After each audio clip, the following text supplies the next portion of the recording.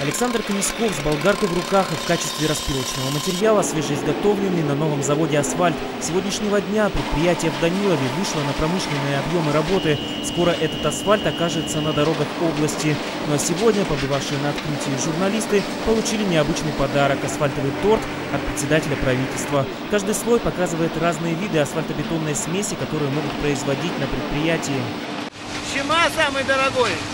Вам. В разобранном виде завод в июне привезли из Владимирской области. Оборудование купили на средства областного бюджета. За месяц его смонтировали и протестировали. Первая партия в 300 тонн уже разошлась. Для ямочного ремонта асфальт увезли в Первомайский и Даниловский районы. Нареканий оборудование пока не вызывает.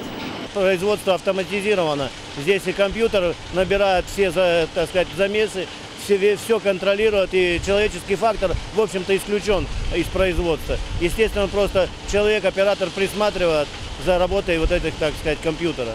Производительность нового завода 160 тонн в час против 30 тонн, которые способен был вырабатывать старый завод. За новой порцией асфальта грузовые машины приезжают каждые 20 минут. Завод заработал в полном объеме. Мы видим, что и инерты подводятся своевременно, битум качественный, я проверил, специалист в этом вопросе. Значит, автоматика заработала в полном объеме. Мы закрываем 4 района.